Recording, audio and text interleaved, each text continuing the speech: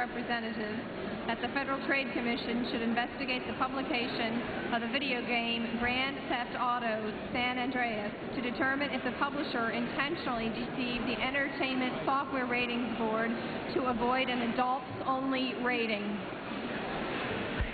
The question is, will the House suspend the rules and agree to the resolution? Those in favor will vote aye. Those opposed will vote no. Members will record their votes by electronic device.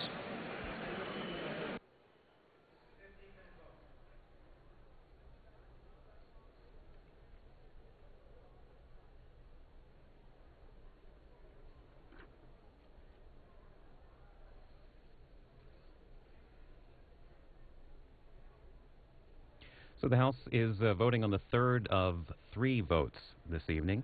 This final bit of legislation is uh, dealing with a resolution that urges the Federal Trade Commission to investigate the video game Grand Theft Auto San Andreas.